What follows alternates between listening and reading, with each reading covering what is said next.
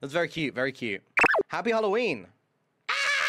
Ah, this reminds me of that porn thing I talked about where the guy sticks his cock in a pumpkin. Flashback. I know a friend who has a favorite porn video, and they've shown me it. It involves pumpkin. There's like, I think like a mother, a sister, and a brother. Mother's like cleaning up, and then the brother guy cuts open a pumpkin, and he sticks his cock inside it.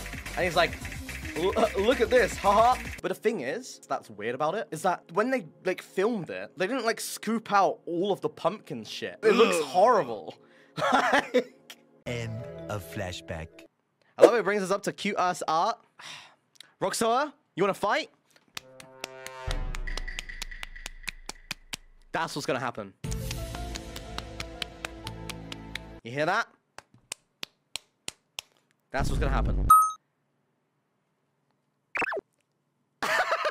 That's not. No, not plap plap. No, I'm punching. There's the sound of my fist hitting my hand. Like. What the fuck is wrong with you guys? Bro, it sounds different in person. It's because the mic doesn't.